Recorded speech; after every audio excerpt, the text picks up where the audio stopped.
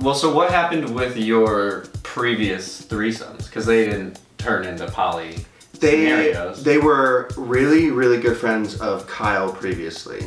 Um, One was a really really hot ginger. There's a trend. There's a trend. Another one of his um, really good friends, which is like um. Well, yeah, sex like- therapist. He's a sex therapist. That's I mean, what that's he what is. he's going to school for, is Mhm. sex therapy, and so. So he was really into the threesome. he probably used He's all it. about it. He probably used it in his uh, class. Two or three threesomes um, with them, but we didn't feel anything besides sexual desire, which it doesn't always have to turn into a polyamorous No. or a joining or you know long-term thing. It can just be as far as you're physically attracted to that person, and that could be one time. It could be a week. It could be a mm-hmm. month. Like, you know, and obviously you're always going to want to talk to your partner about that because you don't want to be leading someone on Never. who feels differently than the way you do. But if if that is the arrangement that you you made, then yeah, you shouldn't feel any guilt in engaging with another person, you know, without it turning into feelings. Like it doesn't have to be that. Mm-hmm. You know, we're we're humans. We We like sex. We like sex. you know, and it doesn't always have to come with huge heart-shaped, you know, things in your eyes. Like it doesn't mm-hmm. always have have to do that. Sometimes it does. Sometimes it definitely does. just finding feelings for someone else, strong feelings for two people, was just hard to battle, and then just also is this okay? Am I allowed to Well, feel yeah.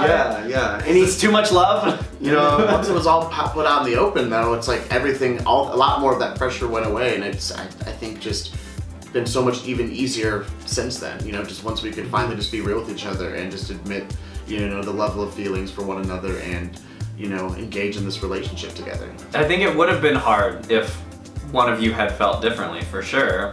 I mean, I don't think you could have. You could have. You couldn't have done it, basically, right? Like, yeah, That's we it come down to. if you know I would have been really into Kenny and wanted to, to have him join, but Kyle didn't.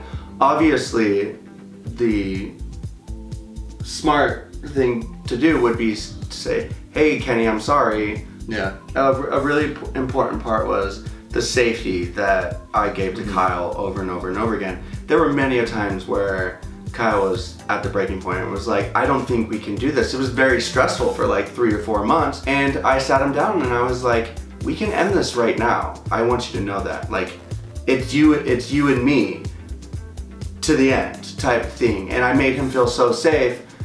And then it got to the point where Now we wanted. now we wanted Kenny in, in on that too. and and now Kenny is to feel that same level of safety and Yeah, security with yeah. us that you were able to provide to me in those moments, and just knowing if this isn't just us here because you're cute right now, you know, Mhm. it's just like no, it's because. but uh, until that until that point you need to reassure your partner that no it's you and me like he's not he's not in yet so he was just a threesome at that point and Kyle felt like I was gonna run away with Kenny at any given moment which is a normal thing to feel when you see your partner engaging with someone else the way that they've only engaged with you. Yeah. it's I, I felt that many of times.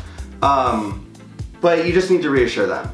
That's that's all they want to hear. You know they could know it in their head but you saying it means the world. Yeah. and that'll that could make or break it honestly